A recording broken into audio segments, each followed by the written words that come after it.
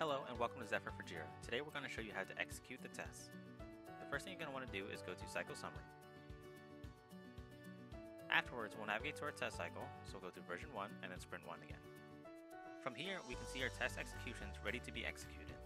We can quickly execute a test case by using the status dropdown to quickly update and execute the status. For example, we'll change this to pass.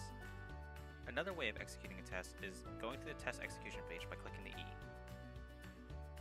Here, we can view our individual test execution in more detail. We can change the overall status of our test execution right here using this dropdown. For example, we'll change this to pass. We also give you the option to execute your test steps. Let's scroll down to view our test steps. Executing test steps is done in a similar manner by changing the status of the test step.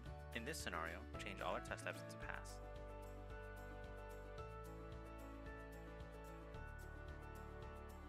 Now if we scroll up, we can view our overall test execution status, and we've learned how to execute our tests.